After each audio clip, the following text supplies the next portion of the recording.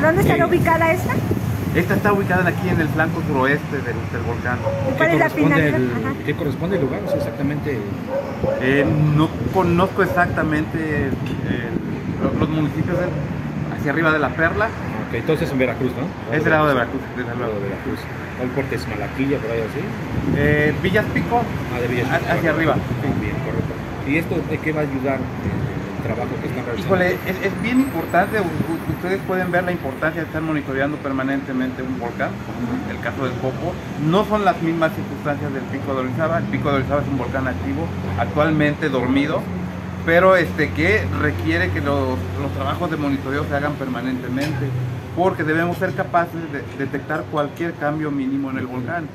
¿La actividad en el Popo ha generado alertas o ha prendido los focos rojos con ustedes? Aquí en- No, no, no, este es un trabajo de, de- de muchos años y que hoy en día se, se está eh, mejorando gracias a, a la intervención incluso de iniciativa privada que está apoyando el- este tipo de acciones, que lo único que persiguen es la, la prevención de desastres y la protección a la población civil.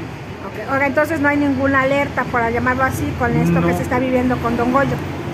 Es, es parte de un proceso, estamos en, un, eh, en una actualización de todo el sistema de monitoreo del Pico de Orizaba.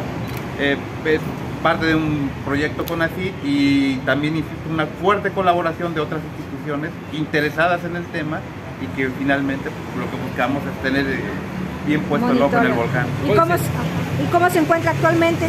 El volcán se encuentra tranquilo, tiene la actividad normal de un volcán de esas características, ocasionalmente algún, algún tipo de evento, pero nada de carácter eruptivo.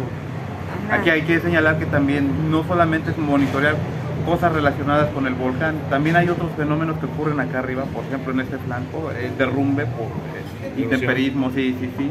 Eh, se pueden producir lajares por la, la cantidad de lluvia, ahor- ahorita precisamente en la temporada de lluvias, y son cuestiones que también hay que, hay que monitorear porque tienen impacto en la población ¿Se, civil. se sabe cuántas zonas son de punto de riesgo por estas de- derrumbes? Eh, sí se sabe con alguna certeza, no tengo el, dato a la mano, pero sí es un área importante. Oiga, aparte de esta actualización, es indispensable que tengan ya establecidas rutas de evacuación por... por- Es parte del proceso. Una, una de las cosas que se tiene que hacer en Pico de Orizaba, existe un mapa de peligros, pero esos mapas de, de peligros son dinámicos, tiene que actualizarse.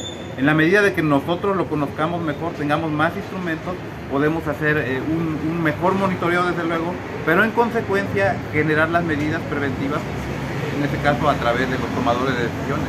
Y los municipios que colindan con esto.